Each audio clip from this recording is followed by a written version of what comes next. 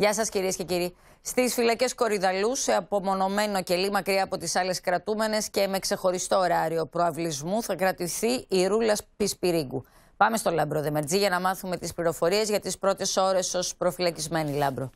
Ράνια, η 33χρονη μεταφέρθηκε γύρω στις 9 το πρωί στις φυλακές Κορυδαλλού, ενώ συγκεντρωμένοι στο σημείο απειλούσαν να τη λιντσάρουν και, να την, και την αποδοκίμασαν. Ωστόσο, τα μέτρα μεταγωγής πρέπει να πούμε ότι ήταν δρακόντια και δεν υπήρξε κάποιο πρόβλημα.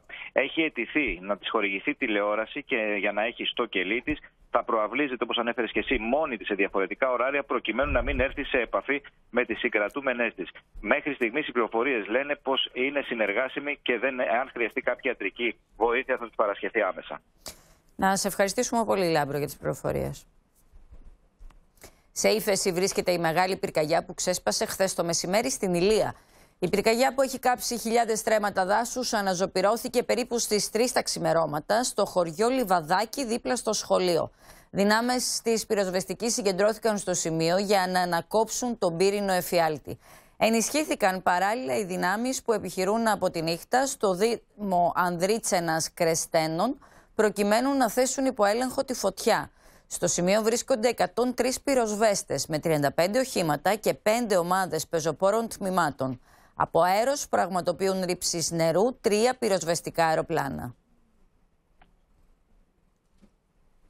Τροχαίο δυστύχημα, κυρίες και κύριοι, σημειώθηκε στις 11.30 σήμερα το πρωί στο ύψος του λιμνότοπου Κυλκής, εμπορική αμαξοστοιχεία που εκτελούσε το δρομολόγιο από τη Θεσσαλονίκη προς την Ιδωμένη, παρέσυρε τρεις πεζούς.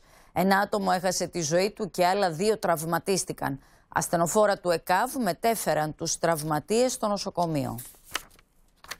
Μεταφερόμαστε στη Λάρισα τώρα. Ο οδηγός Νταλίκας ανασύρθηκε νεκρός από το όχημά του.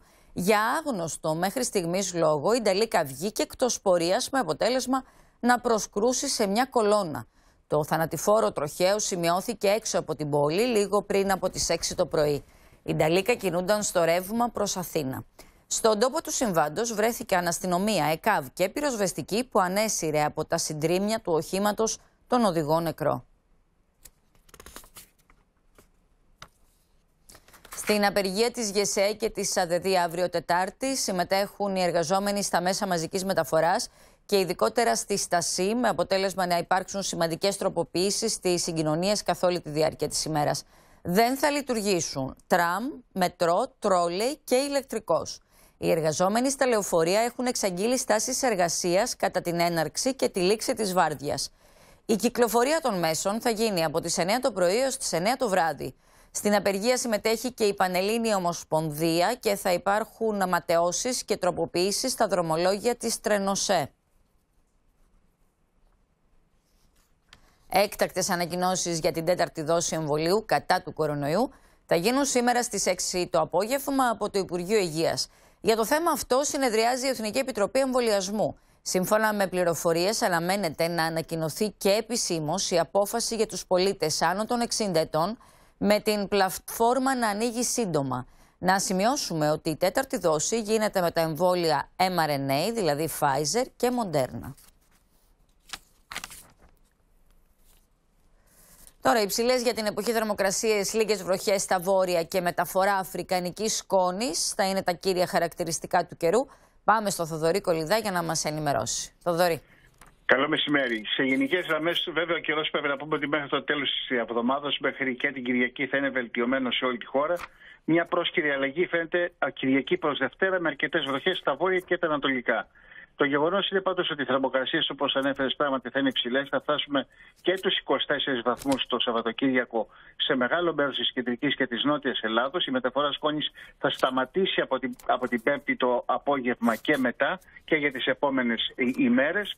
Και πρέπει να πούμε ότι θα έχουμε αρκετή ηλιοφάνεια σε όλη τη χώρα και οι άνεμοι δεν θα ξεπερνούν τα 5 με 6 υποφόρου στα πελάγη.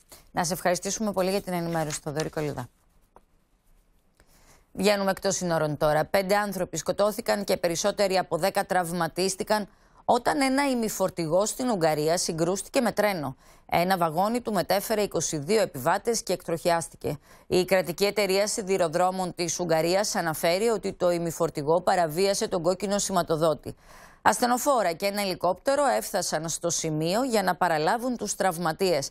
Το δυστύχημα έγινε πριν από τις 8 το πρωί σε περιοχή που απέχει 140 χιλιόμετρα από τη Βουδαπέστη.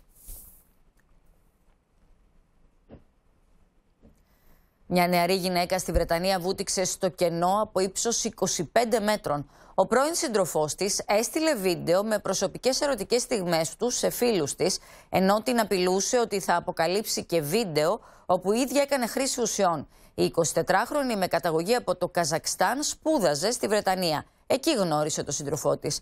Είχαν περιστασιακά σχέση για δυόμιση χρόνια. Το 2018 εκείνος γλίτωσε τη φυλακή έχοντας ομολογήσει ότι αποκάλυψε προσωπικές ερωτικές του στιγμές με την κοπέλα.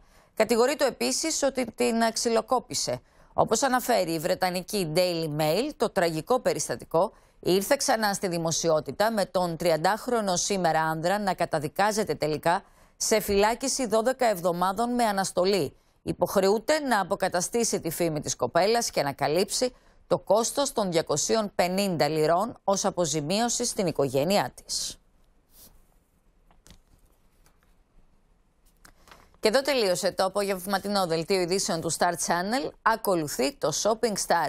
Δείτε όλες τις εξελίξεις της ημέρας με αναλυτικά ρεπορτάζ στο κεντρικό δελτίο στις 8 παρα 10 με τη Μάρα Ζαχαρέα. Κυρίες και κύριοι, καλό και χαρούμενο απόγευμα να έχετε. Γεια σας!